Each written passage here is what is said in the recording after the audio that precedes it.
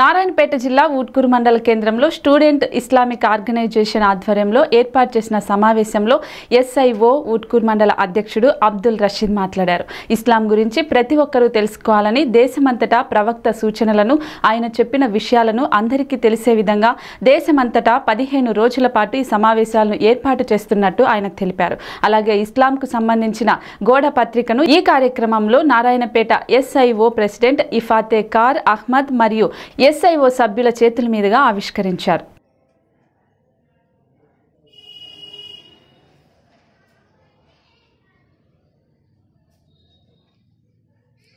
SIO student Islamic organisation of India. ఒక campaigning మొత్తం India లెవెల్లో నడుస్తుంది. ఈ క్యాంపెయినింగ్ డేటు పదిహేను సెప్టెంబర్ నుంచి ముప్పై సెప్టెంబర్ వరకు ఉంది. ఈ క్యాంపెయినింగ్ ఎందుకు అంటే ఇస్లాం ఏమంటుందంటే అందరికీ అందరి దేవుడు ఒక్కడే అందరికీ పుట్టించిన ఒకడే.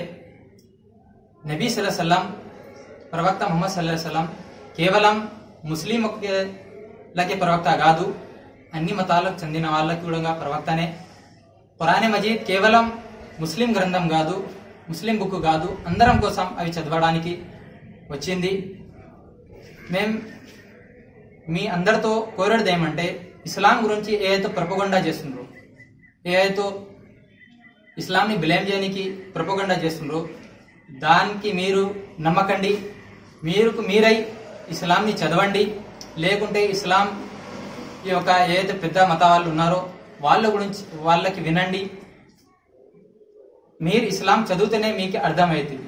ఈ క్యాంపెయినింగ్ ఒక మెయిన్ ఏమిటంటే మేం ఇస్లాం ఏదైతే ఏదైతే మెసేజ్ ఇస్తుందో ప్రవక్త మొహమ్మద్ సల్లాం అన్నారు చెమట ఆరక ముందేనే మీరు కూలి వాళ్ళకి కూలి ఇచ్చేయండి. మీరు ముస్లిం కాదు.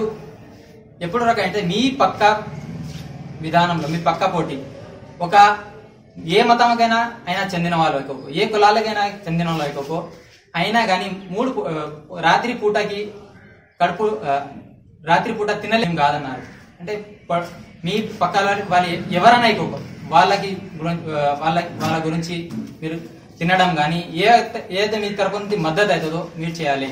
ఇట్లాంటి చాలా విషయాలు ఉన్నాయి. ఈ ముహిం ఈ క్యాంపెయినింగ్ తర్వాత మీకు తెలియచేయాలి చేయాలని మా ప్రయత్నం.